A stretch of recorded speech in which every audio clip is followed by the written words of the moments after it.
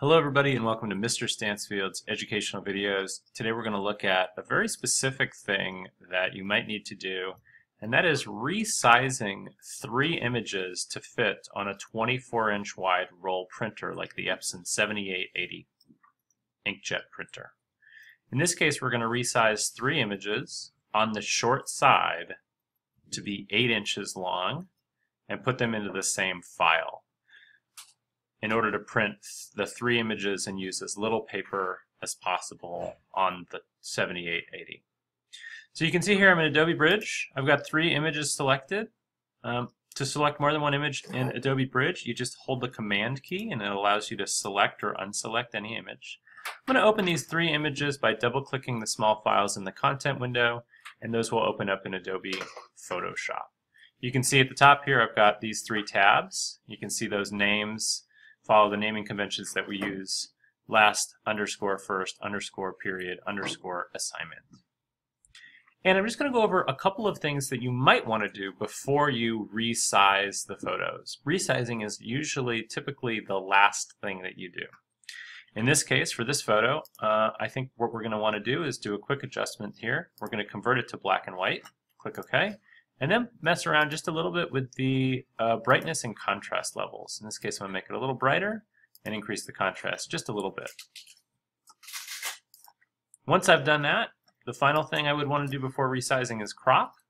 And in this case, if we grab the crop tool, and if these are empty, we never really generally want to use the width, height, and resolution when we're cropping. We do that in image size later. If I, but if I hold the shift key, I can actually make this into a square. In this case, this image composition looks pretty good as a square. All right, I'm to go on to the next image here, and I'm going to crop this photo just a little bit. I'm not going to crop it as a square, but I want to crop that green paper out, and then maybe bring it a little bit up from the bottom and a little bit down so that we can focus a little bit more on that orange. I think this image could use a little bit of a color balance, so I'm going to go in here, Image Adjustments, Color Balance. I'm going to take away some of the orange. I think it's a little bit too dominant. Click OK. And then I'm going to increase the vibrance and saturation by clicking on the Image Adjustments Vibrance. Crank that vibrance up. And the, the saturation, typically no more than about 15 on that. The vibrance can handle a little bit more. Just to kind of make that color pop a little bit more. It may be what's called out of gamut, but that's not something that we'll cover right now. And that's okay. The printer can actually handle an out of gamut color reasonably well. All right, next one here. Uh, I don't know if we want to crop this, but let's just do it um, just to kind of see how um, these images are going to come together.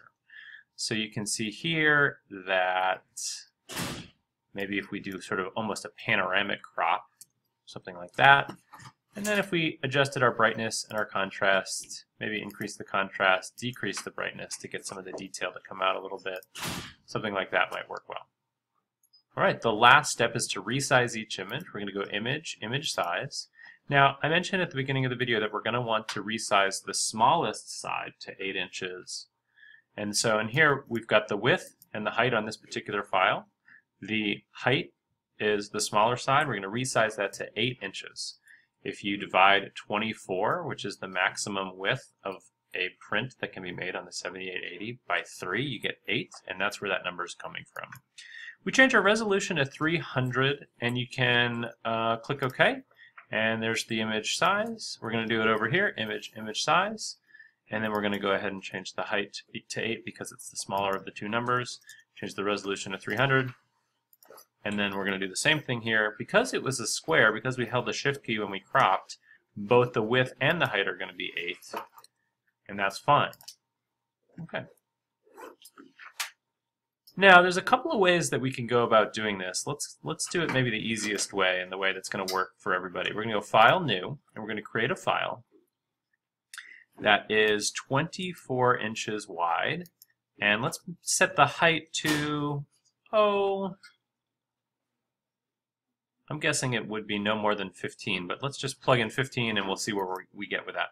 So let's go with a width of 24, a height of 15, or maybe the other way around. Doesn't really matter. Um, change the resolution to 300, make sure that the background contents are white, and then click OK. So we've got a new file right here. And we're going to use the move tool for the rest of what we're doing. So we're going to select the move tool right here, click on the top tab of one of the files, click and drag that down, and then click and drag that into the new file. Click on that file again to close it. Do you want to save? In fact, because I've made some edits, I do want to save this. So File, Save As, find the home for it, save it, Make sure you save it as something new. You don't want to replace any files. In this case, I'm going to say don't save, but I want you to save when you are working on this. I'm just going to justify that in the bottom corner, lock it into that corner over there. We're going to grab this file right here, click and drag it down, click and drag it in, click over here, close it, you will save it, I'm not going to. And then here, this is where things get tricky because you've got the short side is 8 inches, but the long side is undefined, or uh, maybe not, maybe defined, but not um, not, it might not be the same for each file. So this is where we're going to use the Edit Free Transform tool. And we're going to, with this layer selected, rotate 90 degrees. And it can be 90 degrees clockwise or counterclockwise. It doesn't really matter. And then you can see when I move the file, it automatically kind of snaps right to the edge and then right to the bottom. Um, that is if you have auto select layer chosen up here at the top when you have move tool, which you should. All right, last file, click and drag the tab down, click and drag the file in, go back over here, close it, don't save, image rotation, rather edit, transform, rotate 90 degrees, and then you can see this image fits in perfectly right here. Now, it's a little bit too long for our file, and that's okay. I'll show you what you can do. If you run into this issue where the, the original new file that you made is too big or too small, what you can do is actually go to image, canvas size to extend it. So in this case, we're going to just change this to like 17, I'm going to guess. Yeah, and that's enough. Okay, it's close enough. Um, and then we're going to just move these down into the bottom, lock those down to the bottom, and then we're going to use the crop tool, and we're just going to click and drag that so that we're using, again, as little paper as possible. It goes right to the edge of the image. Now, you might have less or more white space here, but because of the size of this particular image over here, we want to use this particular kind of sizing and orientation. Now, I'm just noticing something here. If I click using the Move tool on the middle layer, which is layer 2 down here, and then I go Image, um, rather Edit, Transform, Rotate 90 degrees, uh, will it fit up here? No. So I was thinking you know, you might be able to arrange things differently, but the way that I'm just going to undo, step backward, and then that gets us back here. This is how it should look. It's okay that there's some white space here. These three particular prints don't line up very well together for this kind of print. Most of the time, though, you're going to have less white space, probably. The key here is that we want to resize so that the smallest side of the print is 8 inches and then line them up right next to each other like this so that it's 24 inches wide. Okay. Uh, we crop it after we do our moving and arranging so that it's the smallest file that it can be. And then the final thing you're going to do is just file save as. Now, if you ever are working with layers, the default format is going to be Photoshop, which is fine. That's totally exactly what I want you to do, in fact. And then you're going to save it as a Photoshop file, name it last name underscore first, the whole normal naming convention, and go from there. And that's how you're going to resize and arrange three images to print on the Epson 7880.